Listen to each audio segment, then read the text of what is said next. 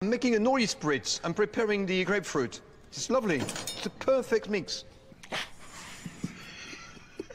What are you doing there? I think we lost something. What are you doing?